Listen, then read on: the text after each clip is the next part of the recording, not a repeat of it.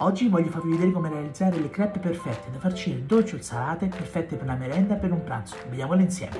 In una ciotola versate le uova intere, il latte e mescolate con una frusta. Aggiungete la farina, continuate a mescolare ed infine unite il burro fuso intiepidito, mescolate con una frusta e poi mixate con un mixer di immersione in modo da togliere tutti i grumi. Chiudete con la pellicola, fate riposare in frigo per 30 minuti. La pastella diventerà molto liscia. Fate scaldare una padella antiaderente a fuoco medio, mettete una nocciola di burro, versate un mestolo di impasto, roteate la padella in modo da ricoprire tutto quanto il fondo uniformemente.